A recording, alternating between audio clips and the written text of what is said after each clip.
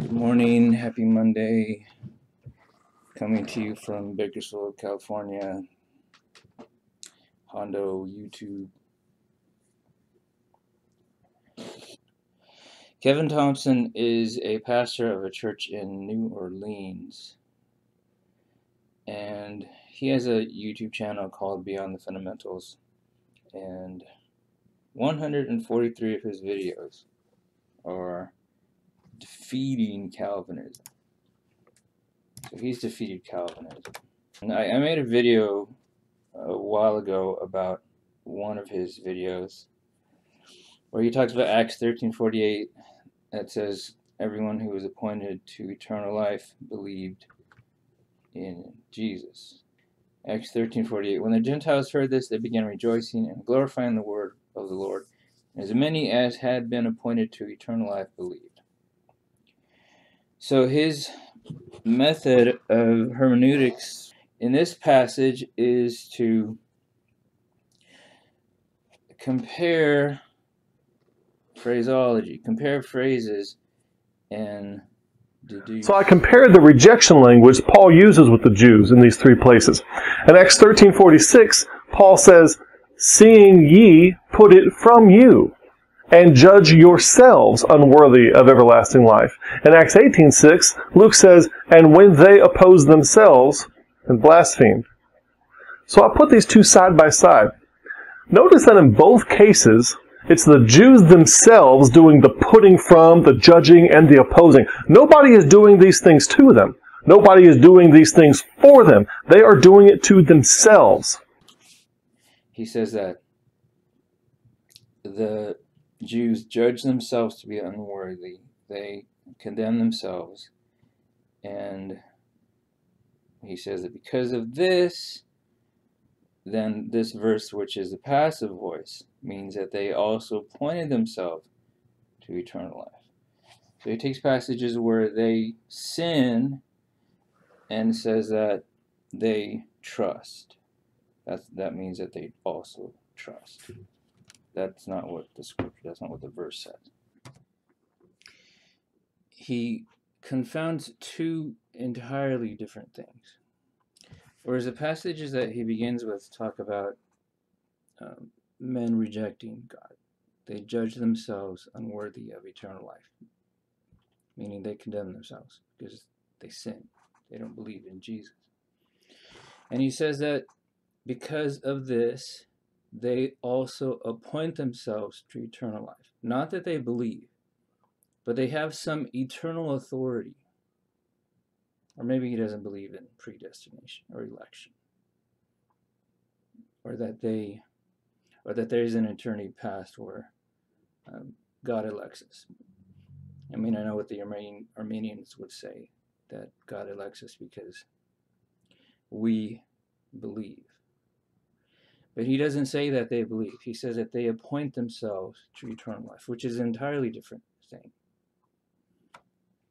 And he, and he confuses that. He says that it is the same as rejecting God because they judge themselves unworthy. And that's not even the same thing. It doesn't say they appoint themselves to damnation. So he's so incompetent.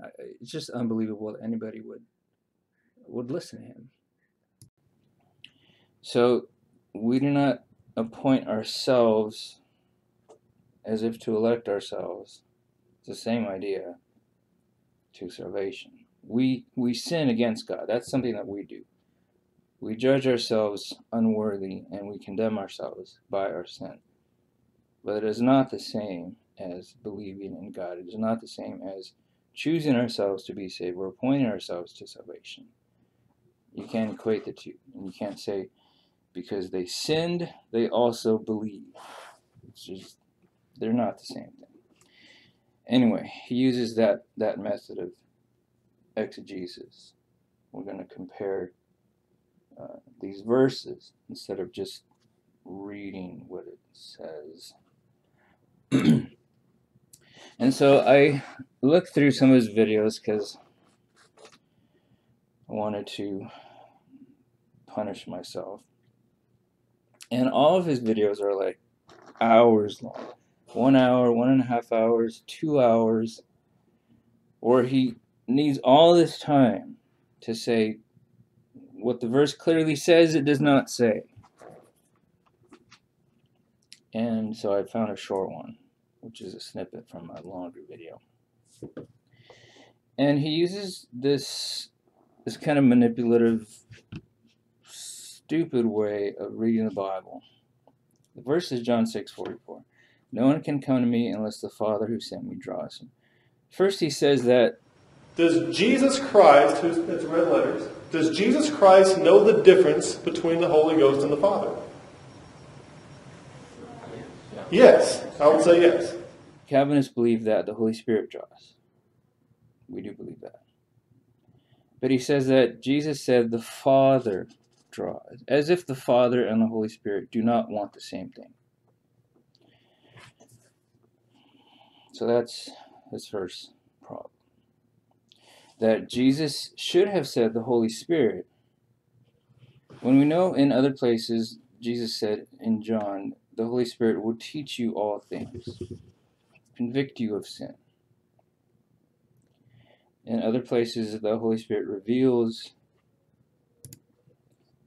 reveals the truth, enlightens our mind, these kinds of things.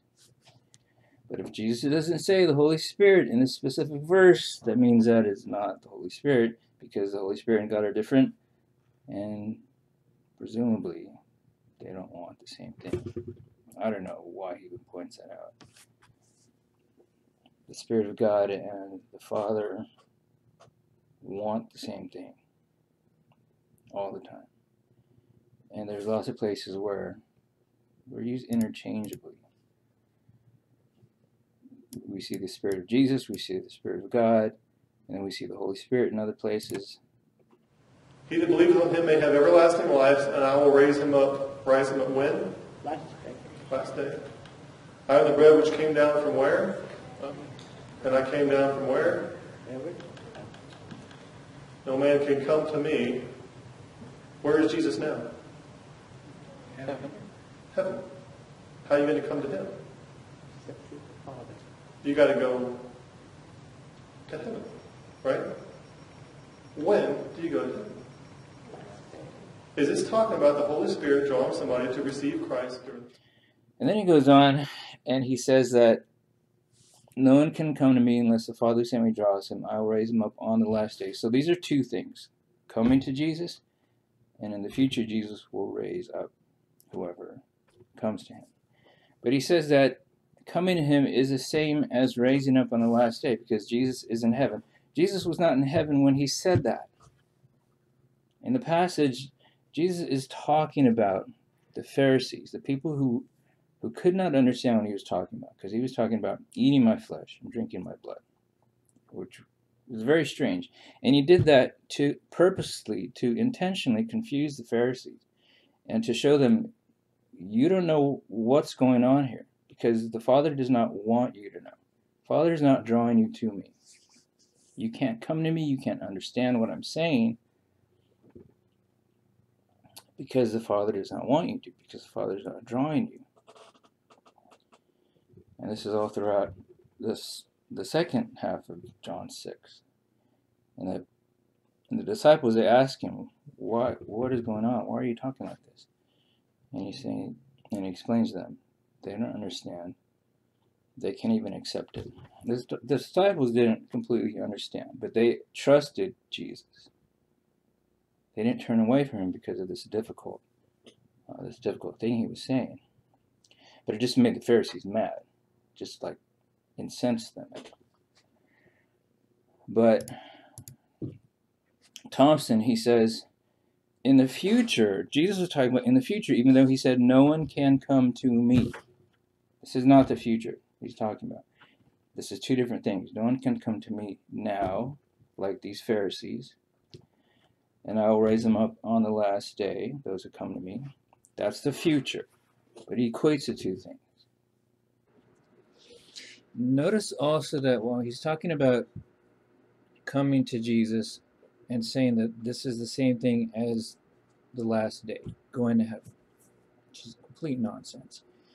Notice he highlights the words and he leads his audience without giving any context, without talking about anything that was happening in the passage.